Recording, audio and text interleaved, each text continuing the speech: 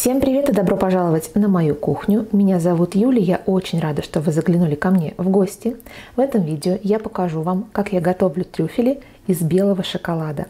Я немного решила отступить от классического рецепта и обогатила конфеты всевозможными кондитерскими добавками. Ну а для того, чтобы конфеты сохранили классический вкус трюфеля, обваляла их в бельгийском алкализованном какао.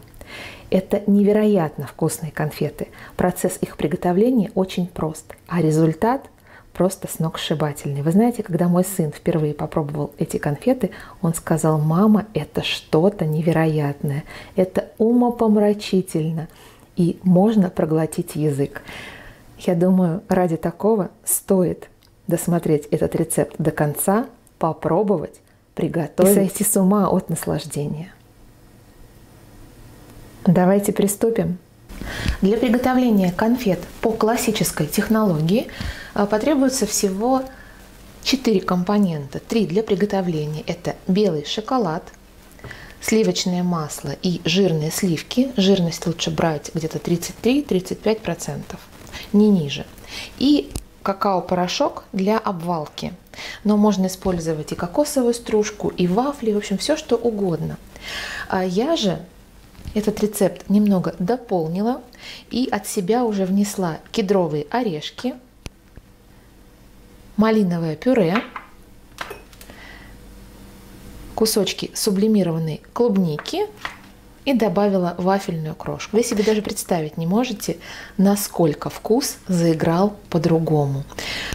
Очень очень вкусные конфеты получаются. Давайте сейчас именно это мы и приготовим.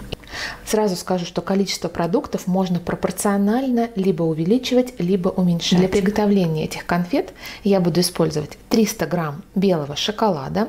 Вот здесь вот у меня 150 миллилитров жирных сливок. Я использую сливки жирностью 35%. Также мне потребуется 40 грамм сливочного масла, 15 грамм малинового пюре. Можно брать абсолютно любую ягоду. И э, свежие ягоды можно перетереть в пюре. Можно также уже использовать готовое консервированное пюре. Все на ваше усмотрение. И из дополнительных компонентов у меня здесь 50 грамм кедровых орехов. Поверьте, кедровые орехи в этих конфетах прям вот как нельзя лучше вписались в этот рецепт. А, сублимированные клубники возьму ну, где-то примерно столовую ложку. И также по вкусу немного добавлю вафельной крошки. Что нужно будет сделать первым делом? Смотрите, пюре фруктовое я отправляю в сливки, перемешиваю и довожу практически до кипения, но не кипячу. При постоянном помешивании, чтобы сливки не пригорали. И шоколад мне сейчас нужно будет растопить на водяной бане. Сливки, как видите, приобретают такой нежно-розовый оттенок за счет добавленного пюре малины. Что касается растапливания шоколада, как только вода вокруг э, сотейника, в котором находится шоколад, закипела, я огонь выключаю. И вот просто-напросто начинаю шоколад перемешивать по горячим стенкам кастрюльки. Этой температуры будет достаточно для того, чтобы шоколад довести до нужной консистенции. Перегревать его тоже не стоит. Как только вы видите, что пошли вот эти вот пузырьки, и сливки ваши хотят закипеть, выключаем плиту.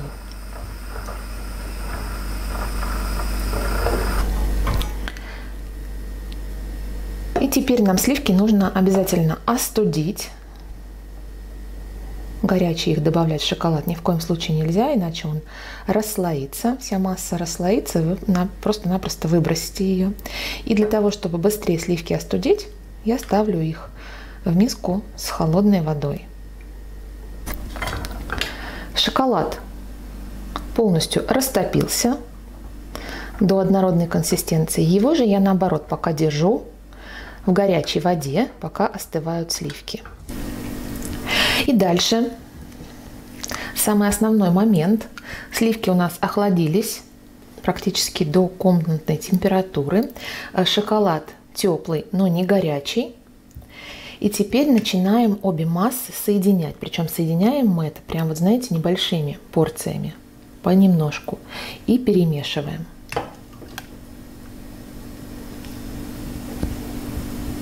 Если мы сразу сейчас все вольем, то совершим большую ошибку. Прям, знаете, вот по чуть-чуть. Вот так. И мешаем.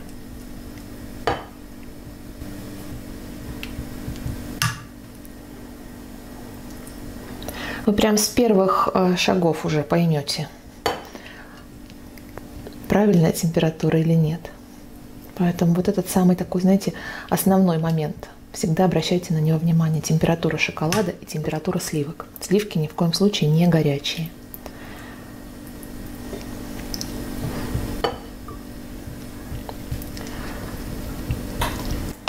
Дальше мы уже можем вводить сливки более интенсивно. Смотрите, масса начинает меняться, она становится какой-то такой текучей и глянцевой. Именно так и должно быть. Есть она должна быть очень глянцевая, вот такая вот. Видите, как помадка. Консистенция, как у помадки. Обязательно вот перемешивайте до однородности. Ввели порцию сливок, перемешали. Вводим последнюю порцию сливок.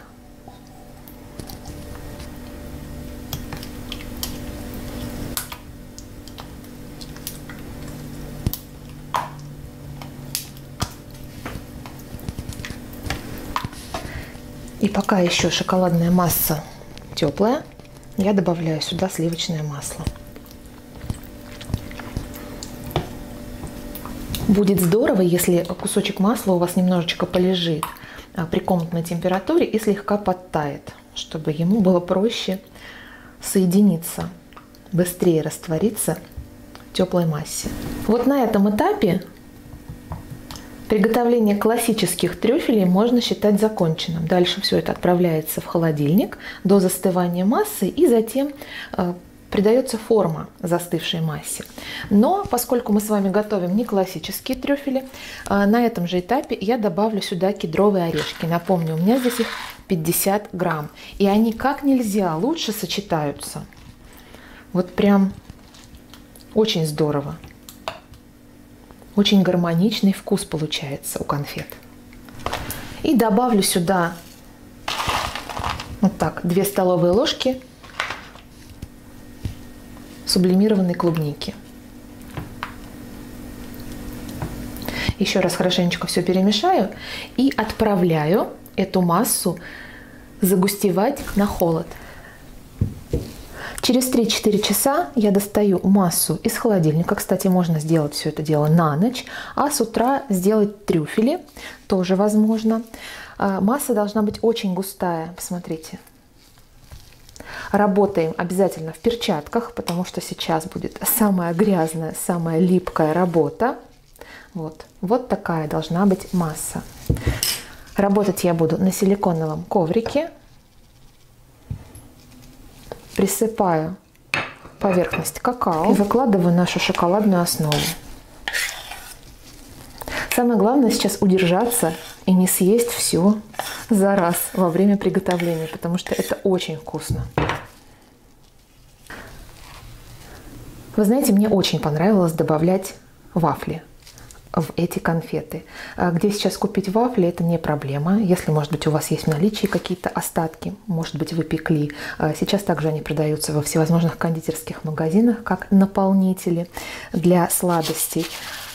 Присыпаю и ими наш шоколад. То есть фантазируем на ваше усмотрение.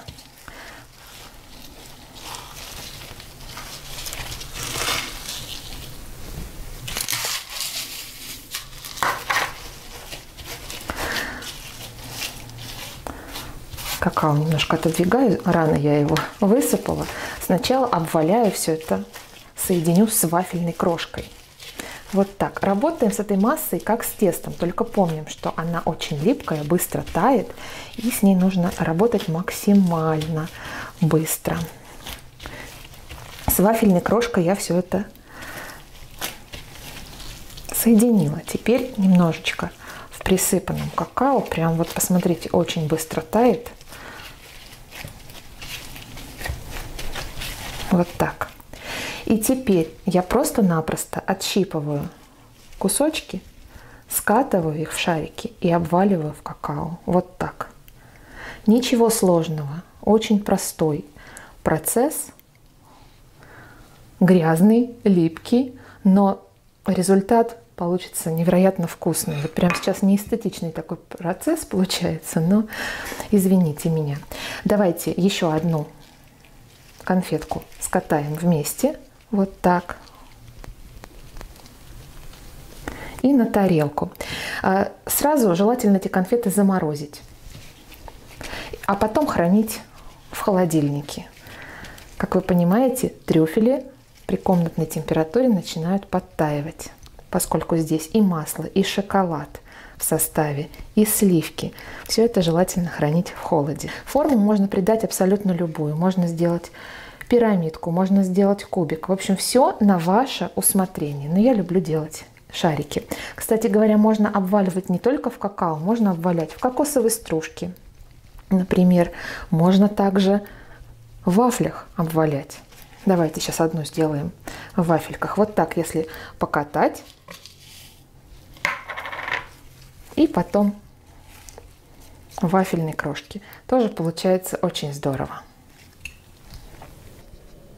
И вот, пожалуйста, вот такое количество конфет у меня получилось на выходе. Взвесила готовый продукт порядка 600 грамм из э, того количества ингредиентов, которые были заявлены в самом начале. Сейчас конфеты я уберу в морозилку на несколько часов, а дальше конфеты можно убрать на хранение в холодильник, но предварительно убрать э, в какой-нибудь контейнер или коробку для того, чтобы они не впитывали посторонние запахи. На этом я с вами прощаюсь. Желаю вам удачи, всего самого наилучшего. Ну и, конечно же, обязательно попробуйте, приготовьте. Это невероятно вкусно.